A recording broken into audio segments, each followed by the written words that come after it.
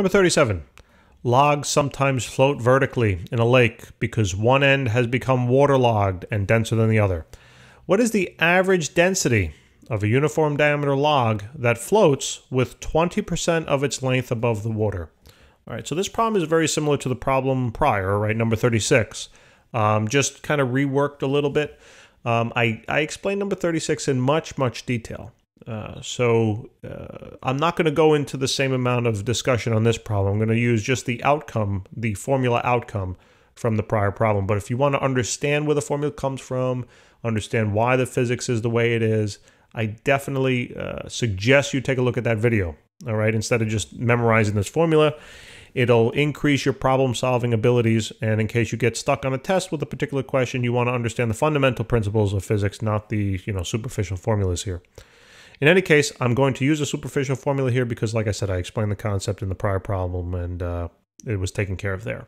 So the outcome, the formula outcome of the prior problem was realizing the fraction that the fraction of an object submerged, okay, or the fraction submerged, okay, is equal to the density of the object that's floating divided by then the density of the liquid that the object is floating in. All right. Um, so this is this is cool. This was the outcome of the prior problem. Now, uh, I we realized the question is asking us, uh, it, or it's telling us 20% of its length is above the water. Now that is exactly opposite to the fraction submerged. But if we know the fraction that's submerged, we can easily create a, a an equation to represent then the fraction, which is that's what 20% is. It's essentially a fraction uh, that's above the water. For example, pretend here's your water line. Okay, here's your water line, and let's pretend uh, this is the uh, this is the log. Okay, and uh, the problem told us that 20% is above the water. Okay, 20% is going to be above the water here. Let me ask you a question: How much is below the water? Right. I mean, this was simple, right? 80%. How did you know that? Well, you're like, well, if we're talking about the whole log and the whole log is 100%, and if 20% is above the water, then the remainder 80% has to be below. Exactly, right? This equation here, this variable, fraction submerged, represents the amount that's submerged. Okay? But they gave us information about the fraction above. So what I want to do is try to create a relationship here, a mathematical relationship between the fraction submerged and somehow the fraction above. So pretend that you knew that the fraction submerged is 80%. Pretend you didn't know it was 20. Pretend it's 80%. How would you find the fraction above? You'd say, right, just take, it's basically the same thing. Just take 1 and subtract then the fraction, right, the fraction submerged. Right, 1 minus the 80% here would have been 20%. Okay? And by the way, I really should be saying 1 minus 0.8, right, because I'm talking about decimals. Uh, but, you know, percents and decimal fractions and the and the percents they're you know they're the same thing. One is just multiplied by 100 by 100 one isn't.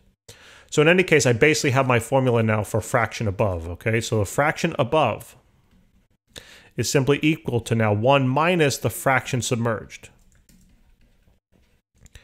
So what do we ask? So we know the fraction above. It told us that in the problem 20% right? But what are we after in terms of the problem. It's asking us for the average density of the log, right?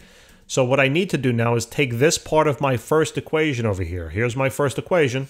I need to take this part of it and now substitute it in for fraction submerged. Okay, so we have the fraction above is equal to 1 minus the density of the log, because that's the object we're talking about. Okay, density of the log divided by the density of the water. Okay, so the problem's asking me to find the density of the log. So all we have to do now is just do math, right? All we have to do is just solve for this. Uh, excuse me, solve for the density of the log. All right, so what I'm going to do is, because I want to make this positive, I'm going to add this on over to the left-hand side and then subtract this on over to the right-hand side. Okay, all in one step. So we realize then, and I'm going to write the result over here. So we realize that the density of the log divided by the density of the water should equal then 1 minus the fraction above. And then solving for just the density of the log here, I would multiply both sides by the density of the water, right? So in other words, the density of the log is going to be equal to the density of the water times 1 minus the fraction above. And voila, here it is. Here is our equation. Okay, now all we have to do is plug in the values. All right, so let's plug them in. So the density of the log is equal to the density of the water. So, I mean, they're talking about a lake, right? Generally, lakes are freshwater.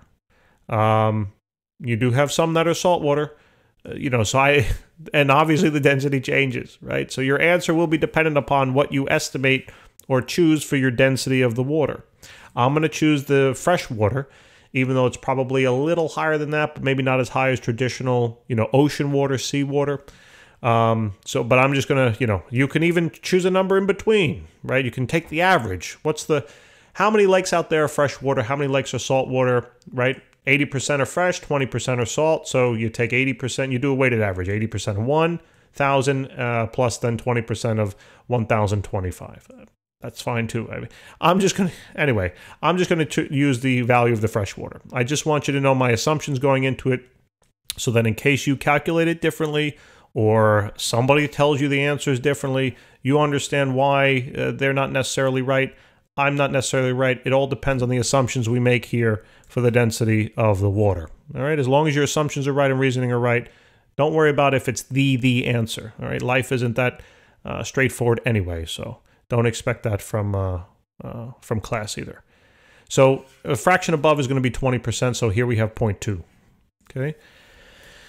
And just simply do the multiplication, right? I mean, you're going to realize here that we work out to be, uh, it's going to work out to be now about, I mean, this is just 0.8, right? 0.8 times 1,000 is going to be 800. So we have the density then, the density of the log to be about 800 uh, kilogram per cubic meter. Okay, those are the standard units. Again, your answer will be dependent upon what you decide to choose for your density of the water. Okay, which is the lake.